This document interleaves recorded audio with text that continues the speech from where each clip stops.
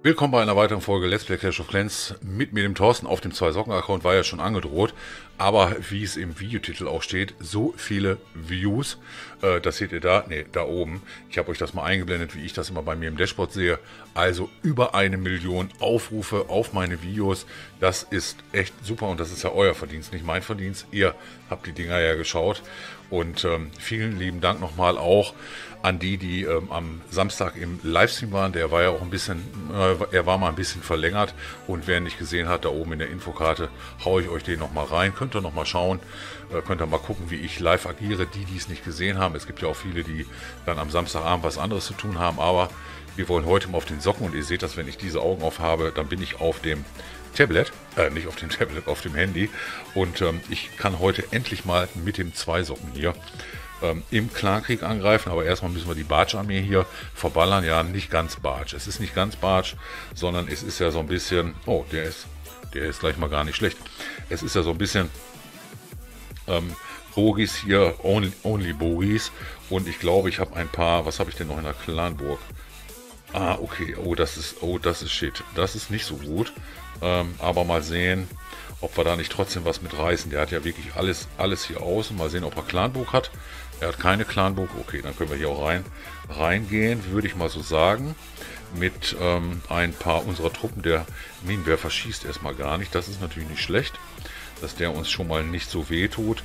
Und die Clanburg ziehe ich hier jetzt aber mal raus. Mal sehen, ob der Blitz hier auf den Minenwerfer schon reicht. Ähm, ja, der reicht leider nicht. Okay, der reicht leider nicht. Ähm, dann ist es immer ein bisschen schwierig für die ganzen vielen Bogis hier. Ich setze sie mal jetzt so ein bisschen, bisschen verteilt hier. Rechts, links, rechts, links, rechts, links. Ja, so klappt das. So klappt das, sodass wir den Loot hier auf jeden Fall mitnehmen. Und der Minenwerfer sich vor allen Dingen immer wieder drehen muss. Jetzt haben wir aber noch sieben, sieben Truppen. Die gehen ähm, nach dahin, dahin, dahin. Ah ja, das haben wir ganz gut mitgenommen. Also das klappt schon mal. Ich nehme heute auch mal ein bisschen anders auf. Ähm, denn äh, das, hat, das hat mir in letzter Zeit nicht mehr so gefallen, dass ich so viel, so viel Zeit vor allen Dingen ähm, bei den Videoschneidereien hier verbracht habe, mit was auch immer. Jetzt haben wir den doch zu 100% gemacht. Mit was auch immer. Und ähm, deswegen habe ich mir mal überlegt, du nimmst das mal jetzt ein bisschen anders auf.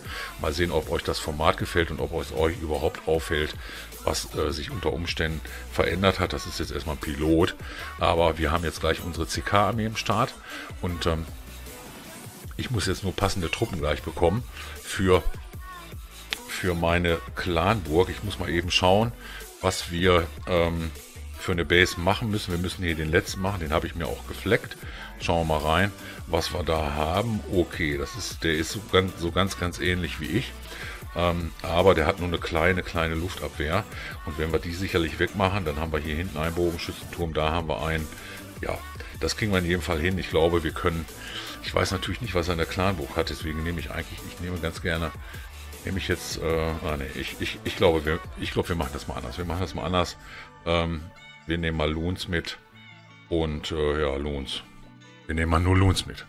Denn wir haben so ein paar, wir haben ein paar Magier dabei und wir haben eine ganze Masse Riesen. Ich habe das Gefühl, es sind ein bisschen zu viele Riesen. Ich glaube, ich nehme mal noch, ich nehme mal noch ein paar von den Bogenschützen hier mit. Ähm, 20 Stück, dann nehmen wir mal hier ein paar Riesen weniger.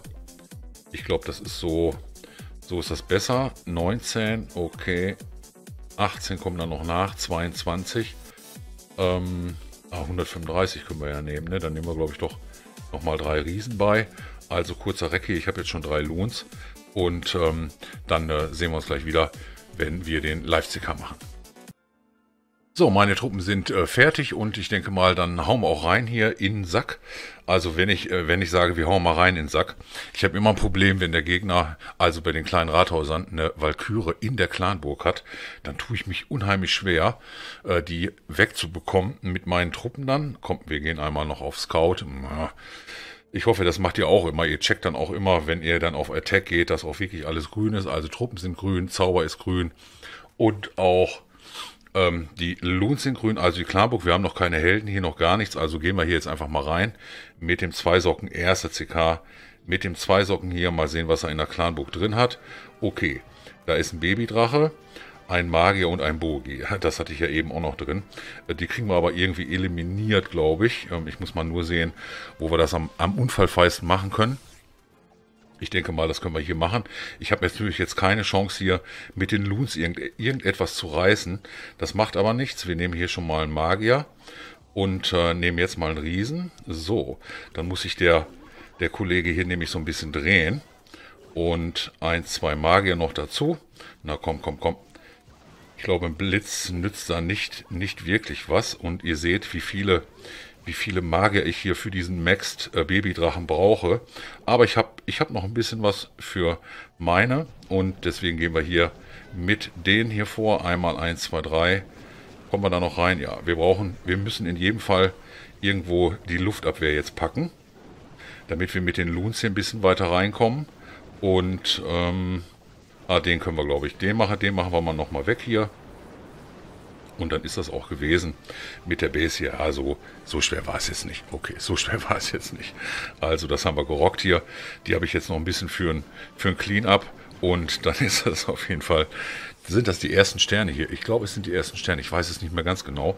Ich war jetzt schon ein paar Tage nicht mehr auf dem Account drauf, aber ich hatte ja gestern versprochen, ähm, dass ich heute diese Folge bringe, ja, dass wir mal wieder auf dem Zweisocken sind und ich glaube, das ist auch absolut in Ordnung, ähm, dass wir mal wieder hier auf diesem Dorf äh, so ein bisschen was sehen. Ähm, mal sehen, ja, das sieht ganz gut aus. Ja, passt so. Passt so, ich kann jetzt leider nicht vorspulen, ist halt ein Live-Angriff, aber ich glaube, ist ganz, ist ganz gut ist ganz gut so, wie es, wie es gekommen ist. Und ähm, ich sehe aber gerade, was ich hier noch umstellen muss. Das mache ich jetzt auch mal gerade. Wir trainieren schon mal, wir trainieren die exakte Truppe mal nach. Ähm, ich habe schon eine wieder in der Pipe.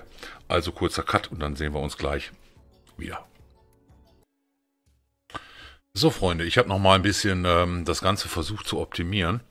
Ist aber schon, ähm, ja, wie soll ich sagen, es ist ganz schön schwierig.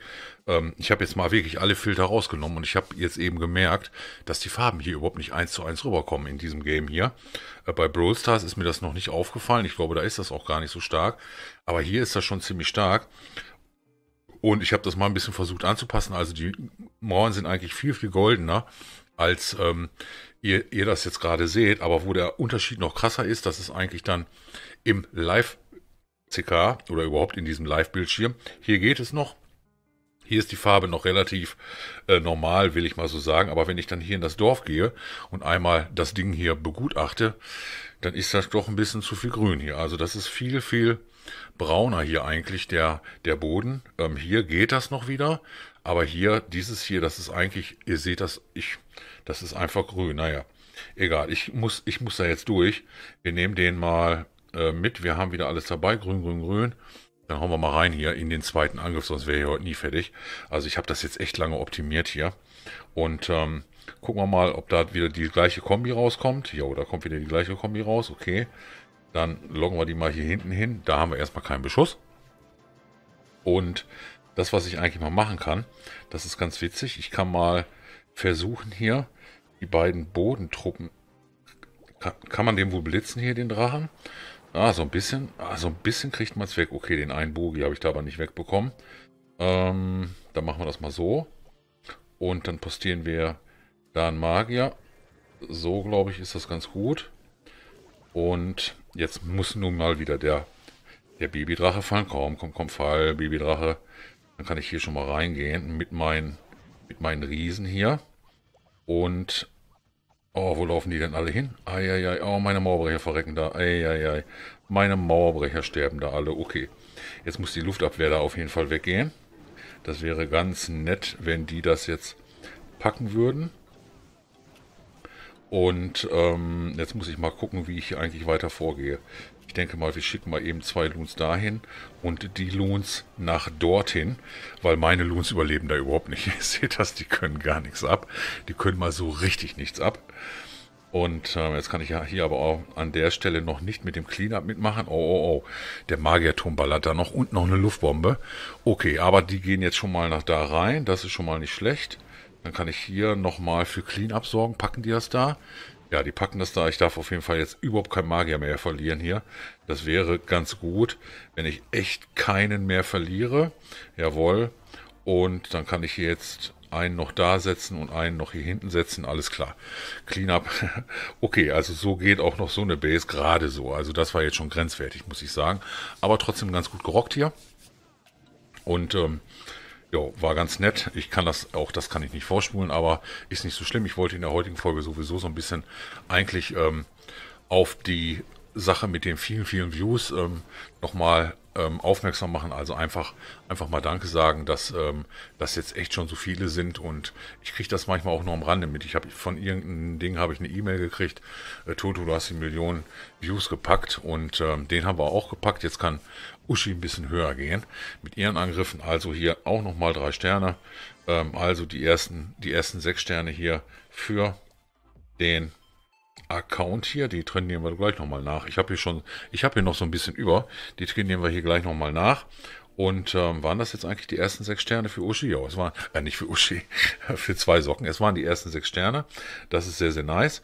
Und äh, sieht aber ganz gut aus aktuell hier. Der Gegner ist auch nicht schlecht. Oh, ich werde angegriffen. Ah, die, die Dev gucke ich mir an. Mal gucken. Ich habe ja eine richtige Base mit dem zwei Socken hier ähm, ist mir, habe ich glaube ich im Stream gezeigt gehabt, ne, dass, dass, dass der mal eine richtige Base hat hier. Die kann ich natürlich ruhig zeigen. Das ist kein Thema. Ähm, aber der Kollege hier quält sich ganz schön mit den, mit meinen Clanburg-Truppen. Okay, meine Clanburg ist natürlich auch lockbar. In den Rathausstufen ist es lockbar. Jetzt versucht er wahrscheinlich die Luftabwehr da wegzukriegen. Ich gehe mal davon aus, dass er da auch Loons drin hat bei sich in der Clanburg. Und äh, gucken wir mal, wie er hier jetzt vorgeht mit den Riesen okay. Da unten ist allerdings keine Falle. Meine Fallen sitzen hier in der Mitte. Also hier am Rathaus in dieser, in dieser Lücke. Und ah, mal, mal gucken, mal gucken, mal gucken. Mal sehen. Ah, was hat er denn da gemacht? Ah, scheiße, habt ihr das gesehen? Oh, da habe ich eine Lücke. Ach, scheiße, ich habe da ein Loch. Da hat der da die Schweinereiter reingesetzt. Ah, so ein Mist, ey. Eieiei, das Loch muss ich stopfen. Oh, das ist mir überhaupt nicht aufgefallen an der Stelle. Jetzt packt er mich ja doch. Oh, shit. Das ist mir echt nicht aufgefallen. Da muss ich... Echt? Das kann ich, das kann jetzt nicht wahr sein, oder? Da muss ich jetzt wirklich mal reingucken. Ist mir das denn echt nicht aufgefallen, dass ich da, ne, dass ich da jetzt ein Loch habe, dadurch, dass ich da zwei, ihr seht das, da habe ich zwei Sprungfallen. Und wenn ich ein Scout View mache, dann kann er die da eigentlich nicht setzen. Oder hat er die doch woanders gesetzt und ich habe es jetzt nicht gesehen. Kann auch sein. Also ich habe hier doch kein Loch. Und äh, Scout View sagt, ich habe hier nirgendwo ein Loch, das passt so. Und ne, hier ist auch kein Loch. Hier ist auch kein Loch. Also er muss die Schweinereiter doch von irgendwo gesetzt haben. Wo ich das jetzt eben nicht gesehen habe. Naja gut, hat er mich, hat er mich dann doch geschafft. Naja, sei es drum. Ist egal.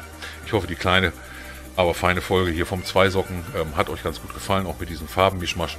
Äh, ich weiß noch nicht, ob ich das abstellen kann, aber unter Umständen nehme ich dann halt Clash of Clans nicht mehr mit dem Handy auf, sondern eher mit dem Tablet oder PC. Ich würde sagen, bis dahin diese Woche. Euer Tuto. Clasht.